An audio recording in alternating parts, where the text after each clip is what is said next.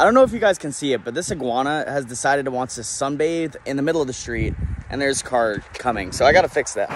Oh my god. Oh!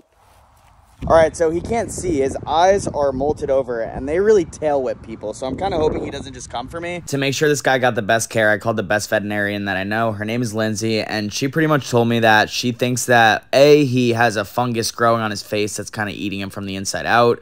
B, he probably got hit by a car, so he's not feeling too great. And C, he might be molting, so he's not looking too hot. I was just advised to throw my favorite shirt over this thing, so let's do it. The most dangerous parts about these guys are their tail whips and their bites, and also their claws are pretty sharp. Usually when they're in a blanket, they're pretty calm, so he's not really freaking out too much right now. I'm taking him to the beach, his natural habitat.